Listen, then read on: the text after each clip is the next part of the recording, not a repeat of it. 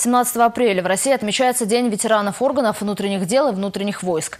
Это сравнительно молодой праздник. Он был учрежден 12 августа 2010 года. Дата выбрана не случайно. Она приурочена к 20-летию создания общественной организации ветеранов органов внутренних дел и внутренних войск. Сегодня их поздравил глава Чувашии Михаил Игнатьев.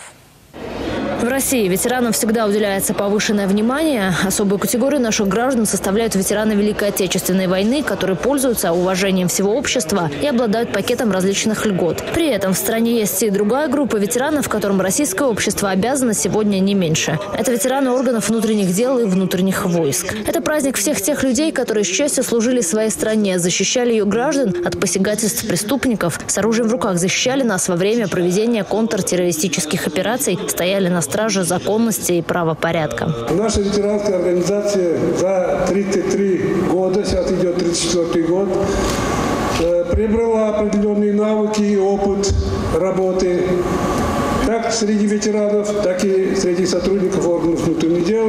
И, конечно же, приоритетные такие направления работы, прежде всего, кроме заботы о ветеранах, оказание помощи действующим сотрудникам. Ветеранам органов внутренних дел и внутренних войск сегодня вручили заслуженные награды. Это уже стало традицией. Ежегодно общественная организация приглашает вас, вы общаетесь, вспоминаете историю, вспоминаете о тех событиях, когда выполняли по своей компетенции при выполнении служебного долга в разных ситуациях, в разных мероприятиях добивались только одного.